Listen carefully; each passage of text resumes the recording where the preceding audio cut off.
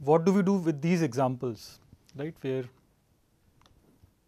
uh, the transition probabilities were 0, 1, 1, 0 and then uh, it keeps uh, switching in the evolution. So, there seems to be no limit of the powers of this matrix. So, what is the problem here? So, issue with M is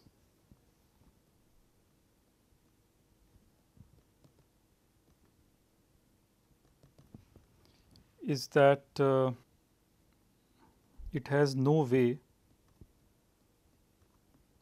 to go from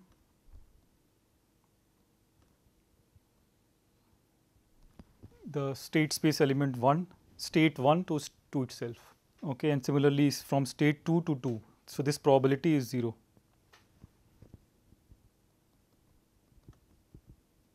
right? This is what m110 means. So since there is uh, it is not the case that from any i you can go to any j with positive probability. Okay so because of that it is uh, somehow not behaving in the most natural way. Okay, similarly, issue with m square is that uh, m21 is 0. Right, so 2 to 1 not possible.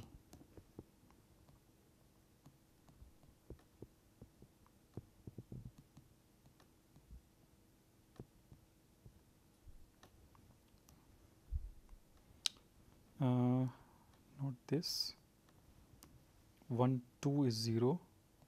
So, no way to move 1 to 2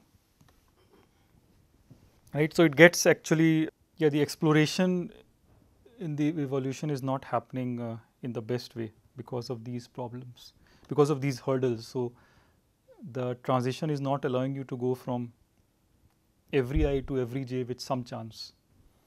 It makes the chance actually 0 exactly 0. So, let us exclude these examples.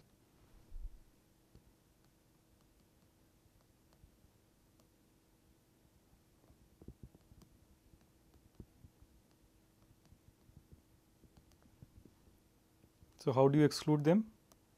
You look at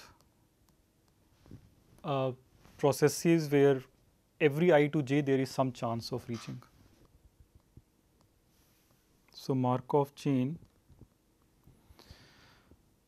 given by mu and m is called regular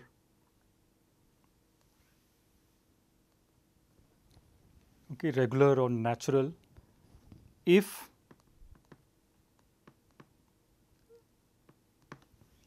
there exists uh, a time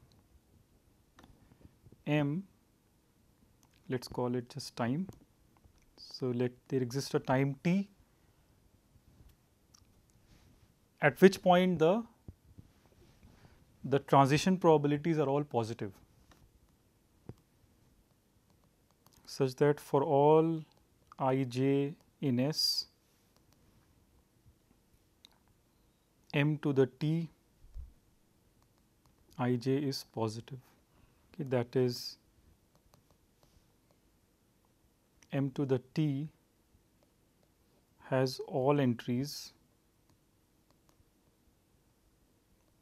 positive okay, and m to the t has only positive entries. So, that is then a point after which the Markov chain will start behaving in a much better way and you can understand the evolution better.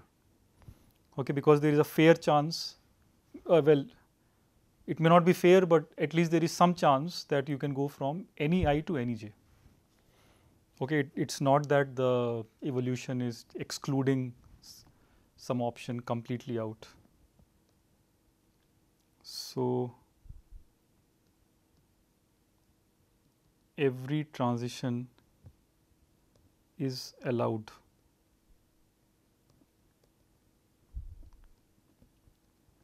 Okay, that is the good thing about regular Markov chain. after a point it becomes nice. And let us then immediately prove uh, a simple property of these. So, if m raised to t has all entries positive, then so does m raised to t plus 1.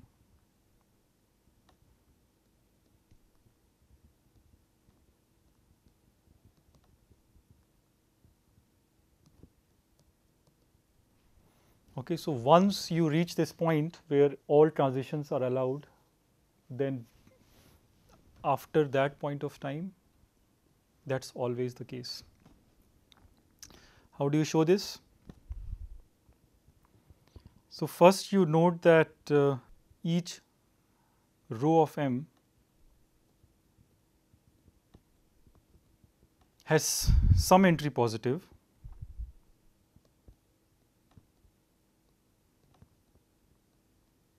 Why is that the case? Well, because the otherwise the row will be the 0 row and then the sum will not be 1, right. So, at least some, some entry is positive. It may be only one entry in which case it will be 1. So, each row in each row of M uh, some entry is positive. So, now you look at m times m to the t right. So, you are multiplying a row of m with columns of m to the t. Now, columns of m to the t every entry is positive. So, this has also every entry positive.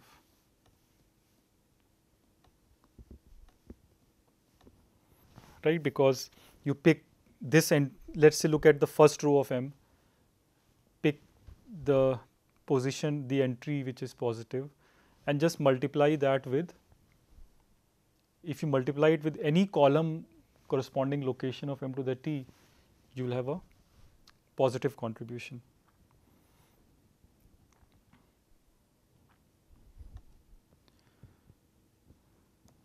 This here we are also using the fact that since uh, negative entries are not there and others uh,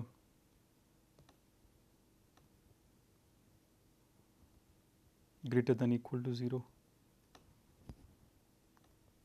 that is also there right. So, some entry in every row is positive and the others are non-negative. So, because of that that positive contribution will remain positive, strictly positive. Okay, so that's the proof. Right, so this is why regularity is a very nice condition because once m to the t satisfies uh, all positive entries, it will remain true forever beyond that point. So for uh,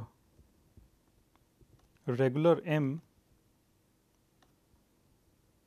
m square has a nice physical interpretation.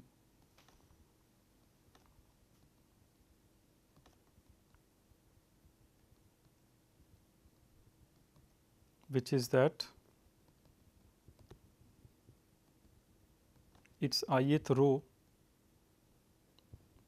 is the ith row of m times m. So, uh, what is happening here is uh, the ith row, oh let me first correct this, hmm, let me correct this.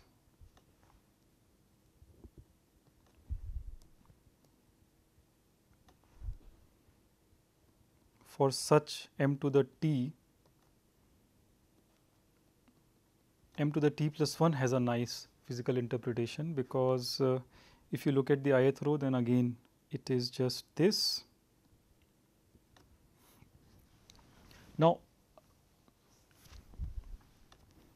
in fact, I have to do a bit differently. So, now m to the t ith row times m. Right. So, m to the t has uh, positive entries. So, this ith row is also positive, every entry is positive. So, when you multiply with a column in M, what is happening is you are taking an average okay, in uh, and you are not leaving anything out because M to the T has positive entries. So, the average actually gives some positive weight to every entry in the first column of M, let us say. So, it is like uh,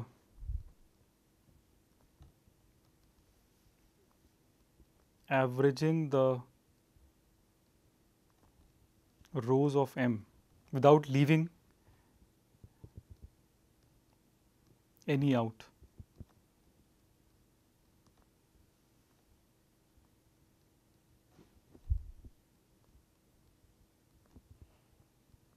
So, every time you are multiplying by m you are actually just keep taking the average that is the intuition. So, what happens if you take this average infinitely right for a long time again and again if you average out then you tend to get all things equal. So, you ask the question what happens if you do this many times.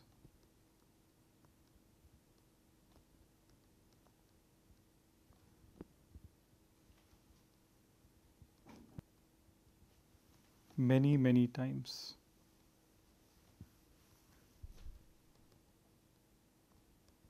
right. So, this is the guiding question and the guiding intuition which will lead you to a major theorem which describes the limit. So, this is a version of Perron-Frobenius theorem. It is very old in matrix uh, analysis. So, it says that if M is the transition matrix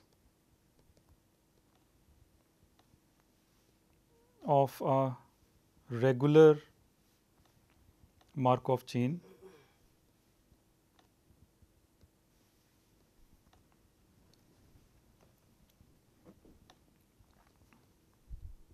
then its limit limit of its powers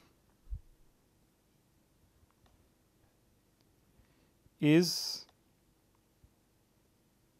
a matrix which is given by a product of uh, the one column vector and some other row vector.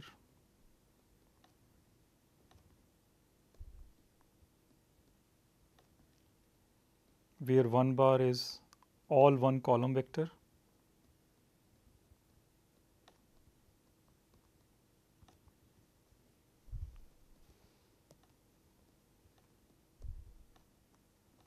and uh, W is some co column vector. W is some probability distribution.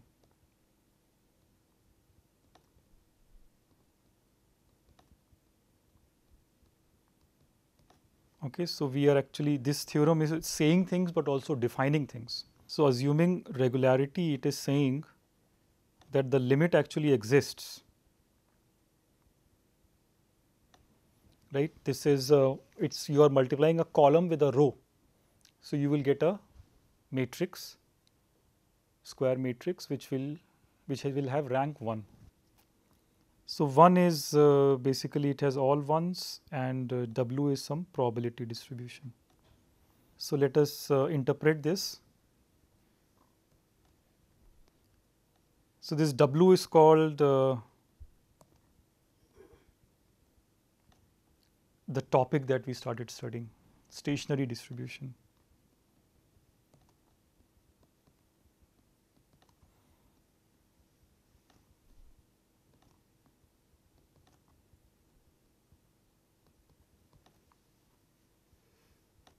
and uh, this uh, for any initial distribution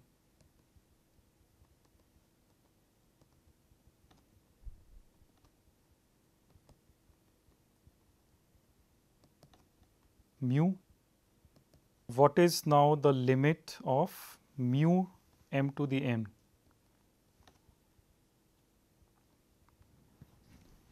So that will be by the theorem it will be mu times 1 bar times W transpose. Now, mu uh, sorry this uh, the row so mu transpose. So, mu transpose is a row multiplied with the column vector 1, but that you know is the value of mu right which is 1. So, this is just W transpose. So, what you see is that in the limit it does not matter what mu was. Okay, this is independent.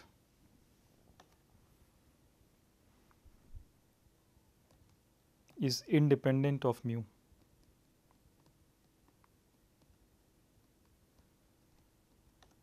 So, that is the amazing thing that no matter what the starting point is, uh, the end point is the same if you wait long enough. Okay, so it's this stationary distribution is very fundamental. It again tells you something about the memorylessness.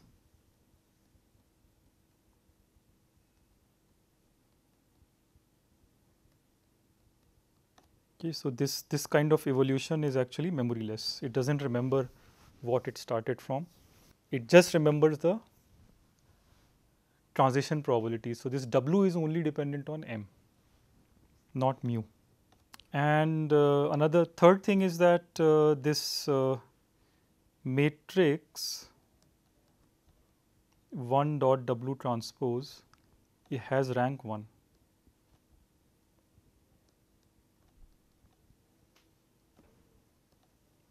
Okay, so in the end you can start with any m of any rank stochastic matrix, but ultimately the rank in the limit becomes 1 right. So, this is a very important and highly unexpected uh, theorem and this shows why Markov chains are uh, structurally uh, so important. Okay, so how do you show this? What is the proof?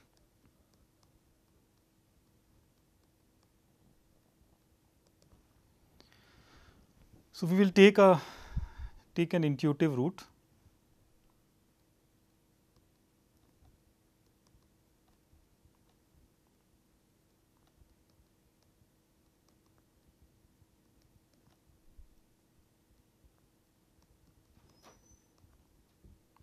Okay, we will not go into the deep analysis uh, of limit etc. We will just give you a more intuitive sketch so that you can read the proof somewhere else formalize. Let us just uh, first look at the idea of this. So, we will show that uh, show that the action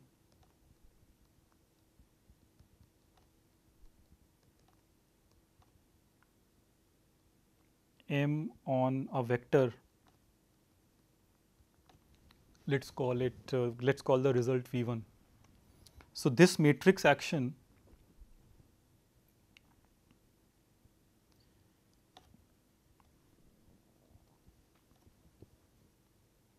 the entries of V 1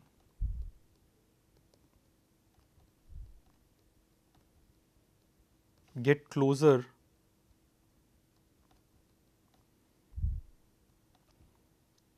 to each other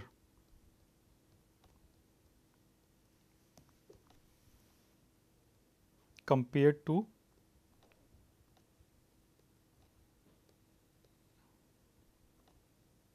those in V 0. Okay, so you start with the I mean view matrix M as a linear transformation.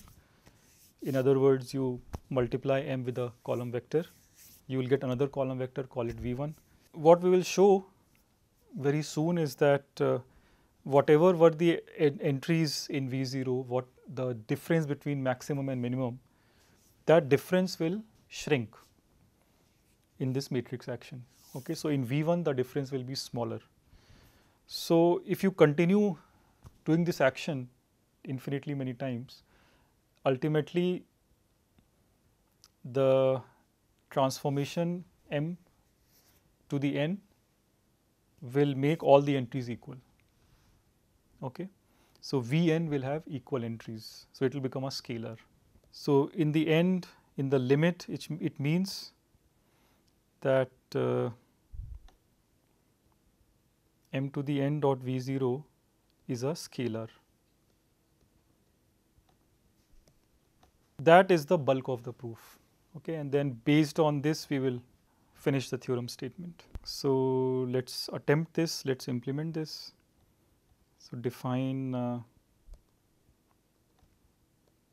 so inside V0 max is let us say M0 and min is small m0. In the vector v1 max is m1 min is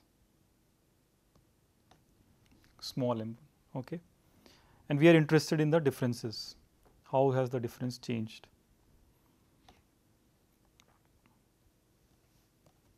So let uh, the matrix m have minimum entry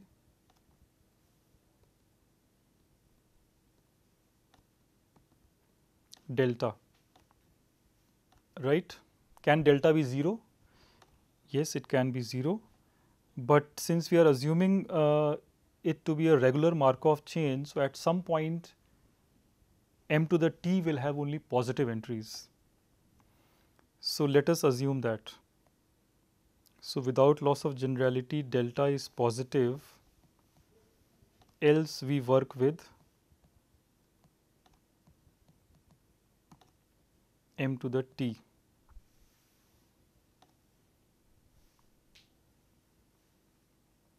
of positive entries.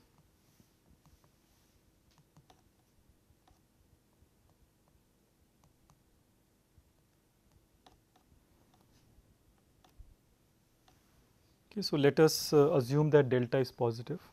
That is the min entry in the matrix. Okay, the other thing is here uh, that delta cannot exceed half. Okay, minimum cannot be too large. Why? Because uh, after all this uh, matrix M is stochastic. So, the row sum has to be 1 at all times.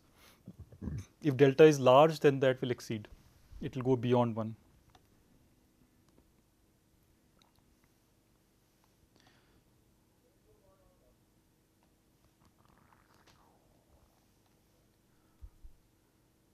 If delta is greater than half then it would mean that uh, some row sum or row sum in M is actually more than S by I mean it is at least S times delta which is then more than S by 2. Now state space is at least 2 right. So, this is uh,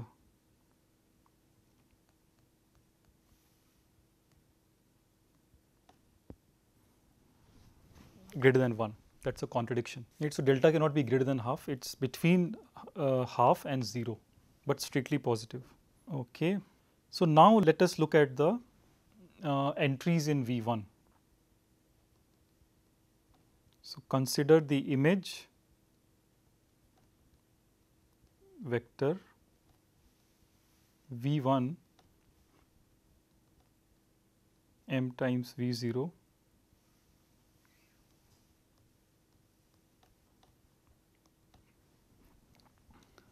So, observe that uh, each entry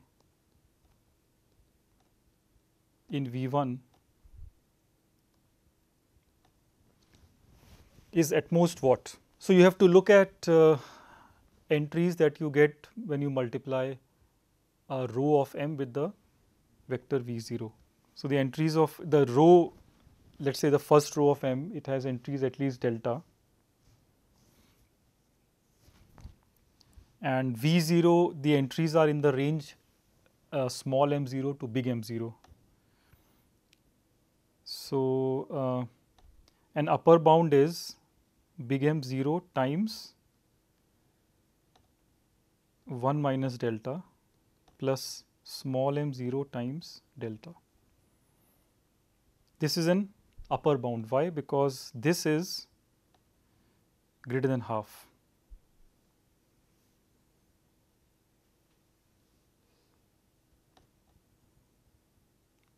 Right, and this is less than equal to half. So, uh, the larger entries, essentially the larger entries in V0, they can contribute at most uh, M0 times 1 minus delta, okay, and the smaller entries can contribute this much. So, this is the this is the basic idea. You have to prove this by using uh, row sum to be 1 essentially.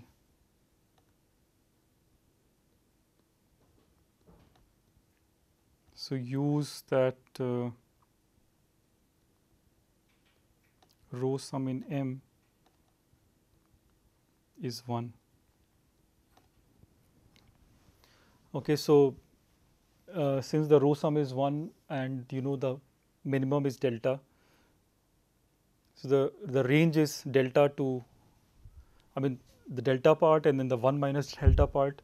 Now the bigger part the maximum contribution you can get from that is if you multiply it with m0 okay and then the rest delta part is will come from m0 so that is an upper bound. What is a lower bound? So each entry in v1 is at least now the reverse so combine M0 with the smaller part and the smaller part with larger part. Okay, so this will be the bound. This again you show by similar arguments.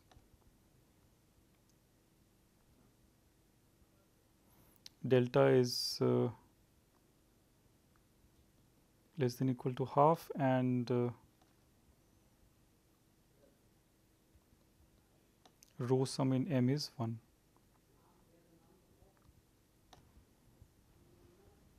So, based on this we will finish the proof uh, next time.